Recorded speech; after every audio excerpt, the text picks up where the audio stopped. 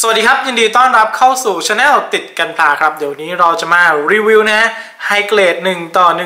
144โคเทสึจิกนะครับ Infinity Version นะครับสำหรับตัวโคเทสึจิกหน้าตาจะเป็นยังไง แล้วก็จุดขยับจะเป็นแบบไหน เดี๋ยวเรามาดูกันเลยดีกว่าครับผมสำหรับตัวโคเทสึจิกนะครับ ก็ถือว่าประกอบง่ายมาก ๆ นะครับ ใช้เวลาประกอบไม่นานนะครับ ไม่ถึงชั่วโมงก็คิดว่าเพื่อนๆ น่าจะประกอบเสร็จเรียบร้อยแล้วนะครับสำหรับตัวนี้ในราคา 1,700 บาทนะครับ ตัวแผงไม่เยอะตัวพัดไม่เยอะครับ แต่ว่ากล่องที่ให้มานั้น เป็นกล่องที่ค่อนข้างจะใหญ่นะครับ เทียบเท่ากับตัวของพวกมาสเกตของทางกันดั้มได้เลยนะครับ ทีนี้เรามาดูเรียกว่าท่าไม้ตายโดยรวมก่อนดีกว่านะฮะตามคู่มือนะครับที่เขาให้มานะครับ ก็ไม่ว่าจะเป็นสปินสตอมนะฮะที่เริ่มจากตรงนี้นะครับที่เป็นเป็นจุด แดงๆนะครับ ตรงหน้าท้องนะครับ แล้วก็มักริลนะครับ ก็คือส่วนตรงนี้เป็นส่วนของตัวสว่านนะฮะ แล้วก็สามารถติดกับ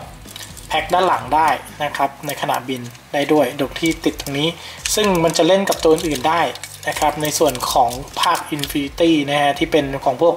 มาชินก้านะครับก็เอามาใส่ได้นะครับในปีกของทุกมาชินก้าตัวเท้านะครับนี่ ตัวเท้าที่ออกท่าเตะได้นะครับ Dynamic Kick นะครับ ตัว part ของมือนะครับ ตัวนี้ก็จะเป็นในส่วนของ part effect ที่แยกออกมานะครับ ตรงนี้ก็คือ Knuckle Bomber นะฮะแยกออกมาอย่างนี้นี่แล้วก็จะมี part มือมาให้ 1 ชิ้นต่างหากนะครับ เป็นมือแบนะครับ ด้านขวา ก็จะขยับจากจุดตรงนี้ได้ ฐานตั้งนะครับ ฐานตั้งหกเหลี่ยมนะฮะ ซึ่งจะมีตัวนี้สำหรับติดตัวนักเคิลบอมเบอร์นะฮะ ก็เวลายิงนะ ก็จะเป็นท่าแบบนี้ แล้วก็ตรงนี้ไว้ติดกับตัวหุ่นนะครับ รวมถึงpart joint ชิ้นนี้นะครับสำหรับท่าบินของตัวที่เราติดกับตัวแพ็คหลังนะครับ ก่อนอื่นนะครับขอเอาตัวมักยูออกก่อนแล้วกันนะฮะเพราะว่า จุดขยับเนี่ยค่อนข้างจะติดถ้าติดตรงมักยูนะฮะ ในส่วนของตัวหัวเนี่ยเวอร์ชันนี้ก็คือคนขับเนี่ยก็คือจะเป็นฮิโรชินะฮะแล้วก็เป็นเวอร์ชั่นที่ผมได้ดูล่าสุดก็คือเมื่อราวๆ10 ปีก่อนนะครับ อันนั้นจะแปลงร่างด้วยมอเตอร์ไซค์นะฮะ แต่เนี่ยฮิโรชิเขาเป็นไซบอร์กก็คือแปลงร่างจากตัวเองเป็นส่วนหัวทั้งหมดก่อนเลย แล้วก็เอามาติด part แขนขานะครับ เพราะว่าในส่วนของตัวจี๊กเนี่ย ตัวจุดทั้งหมดของเขาอะจะเป็นเหมือนแบบแม่เหล็กนะฮะในทุกๆจุดของเขานะครับ จะเป็นแม่เหล็กในการต่อเป็นข้อๆไปอย่างนี้นี่เป็นข้อๆนะครับ ฉะนั้นในเรื่องของจุดขยับเนี่ยมันเลยดูเหมือนแบบค่อนข้างผิดเพี้ยนบิดบิดเบี้ยวเบี้ยวอะไรประมาณนี้นี่คือแบบอย่างนี้เลยนะ คือมันเป็นข้อทั้งหมดนะฮะ ตรงนี้อะติดเข้าไปก่อน ก็ตรงนี้สามารถดึงขึ้นดึงลงได้นะครับนี่แล้วก็เวลาเราหมุนขาอะไรเงี้ยเมื่อตามไปอย่างนี้หมด จริงๆอะข้อตรงนี้ไม่ควรตามนะควรให้มันอยู่กับที่นะฮะตรงเท้าด้วยอีกเช่นเดียวกัน ทุกอย่างนี่มันเป็นจอยจอยทรงกลมหมดนะฮะแล้วก็สามารถขยับขึ้นลงได้ทั้งหมดนะฮะนี่มันก็เลยดูแบบผิดเพี้ยนไปหน่อยคือแบบต้องจับจับจับให้มันถูกจุดอะเห็นไหม คือจริง ๆ มันไม่ใช่อย่างนี้นะ มันต้องให้อยู่ด้านนี้ แล้วเราก็ต้องบิดขาให้มันตรงกับข้อ ฉะนั้นเรื่องของการเล่น ก็จะมีปัญหาแค่ตรงนี้เท่านั้นนะฮะ ด้านบนอีกชิ้นเดียวกันนี่ มันจะแบ่งขยับตรงนี้ได้นะฮะ แล้วก็ขยับตรงนี้ได้ นี่ แล้วก็ดึงลงมาได้อย่างที่ได้ทำให้ดูเมื่อกี้ นี่ เช่นเดียวกันนะครับ ช่วงแขนนะครับ มันจะเป็น 1 จังหวะตรงนี้นะฮะ พับชิดติดดีไซน์ แล้วก็เวลาเราหมุนเนี่ย มันก็จะตามไป แต่จริงๆอะมันควรจะไม่ตามนะมันควรจะอยู่อย่างนี้ แล้วก็หมุนอย่างนี้นี่ แต่ถ้าเราไม่จับมันก็จะหมุนตามไป ก็อาจจะทำให้แบบงออย่างนี้ นี่นี่ตรงด้านแขนตรงนี้หมุนไม่ได้นะครับ หมุนไม่ได้ แต่จะมาหมุนตรงนี้แทนซึ่งจะมีลูกเล่นที่เราเห็นอย่างนี้ นี่จะเป็นลูกเล่นที่ทำให้เห็นถึงการขยับที่จุดด้านใน และแน่นอนตรงนี้มันหมุนได้รอบนะครับ แล้วก็โยกอย่างนี้ได้นะครับ ได้เท่านี้นะตรงส่วนที่ผมว่ามันน่าจะหลวมจริง ๆนะครับ ก็คือช่วงนี้นี่มันจะค่อนข้างด็อกแดกนะครับนี่เพราะว่าตรงเนี้ยมันจะเป็นบอลจอยแค่นี้เองนะครับ แล้วก็ไม่ได้แน่นมากมายนะครับ แล้วก็มันรับน้ำหนักได้ไม่ค่อยเยอะทำให้ค่อนข้างจะอ่อนในส่วนของตรงนี้ นี่คือปัญหาที่เจอแค่นั้นเองเท่านี้ ส่วนหัวนะครับจุดขยับอย่างนี้นะฮะไม่มีปัญหาใช้ได้นะครับ แล้วก็อันเนี้ยตามในคู่มือเลยนะ มันสามารถปรับเปลี่ยนนะฮะในการใส่พาร์ทอะไรที่มันแบบนี้ได้นี่อย่างนี้นะฮะปรับเปลี่ยนข้อ ก็คืออย่างที่บอกไปว่าหุ่นเนี่ยมันเป็นหุ่นแบบ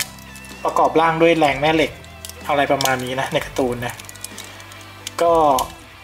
ตรงนี้มันจะเป็นพลังของอะไรนะระฆังทองแดงนะฮะ ก็คือพวกนี้เป็นแนว super robot พวกหุ่นอภินิหารใช่ไหมอันนี้ก็จะแบบเวอร์หน่อยนะ แปลงร่างด้วยพลังของระฆังทองแดง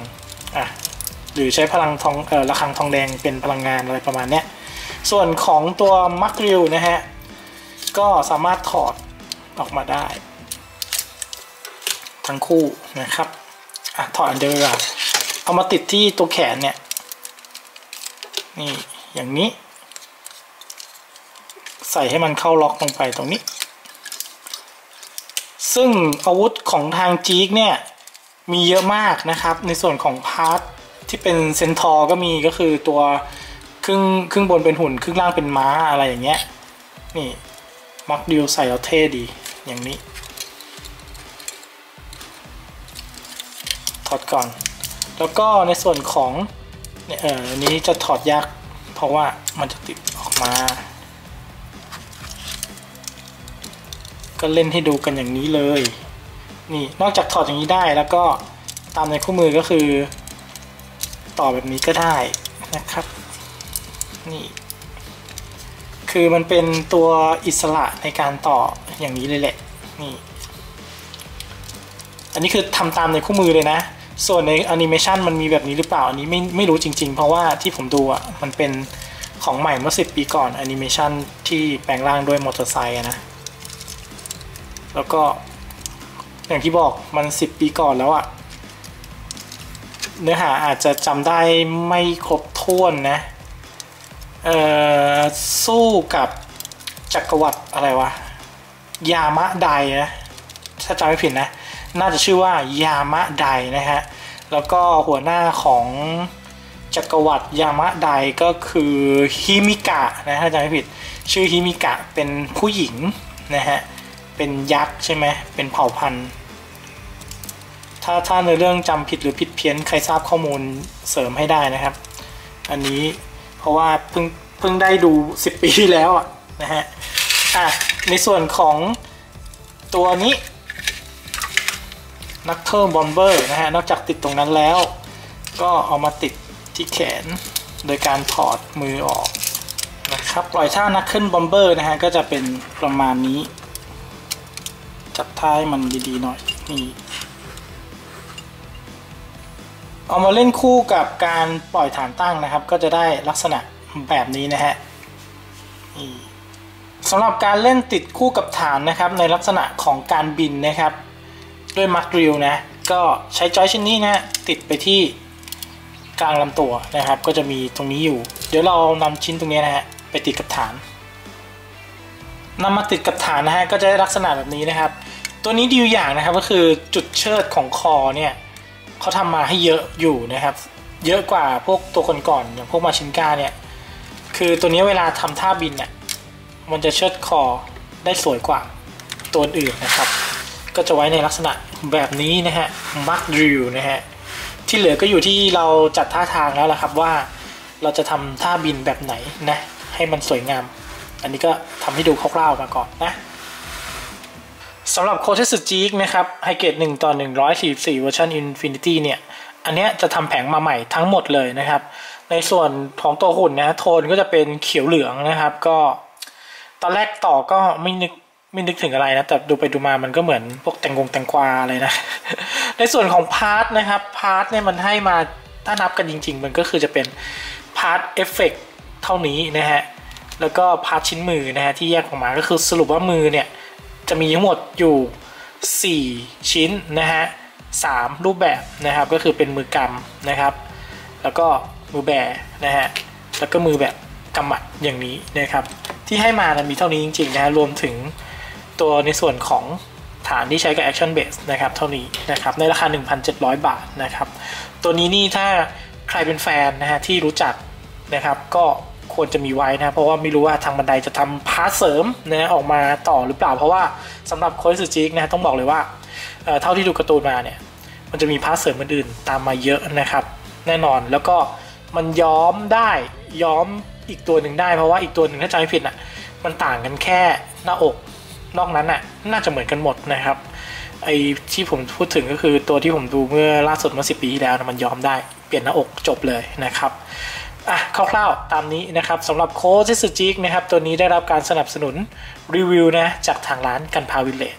ถ้าเพื่อนๆชอบหรือว่าสนใจมีลิงก์สั่งซื้ออยู่ที่ใต้ล่างคลิปนี้ให้เรียบร้อยแล้วนะครับผมสำหรับคลิปนี้ผิดพลาดประการใดในเรื่องของเนื้อหาหรือว่าข้อมูลไม่ครบถ้วนอย่างไร ขออภัยไว้ด้วยนะฮะแล้วเดี๋ยวเราเจอกันใหม่คลิปหน้าครับ สวัสดีครับผม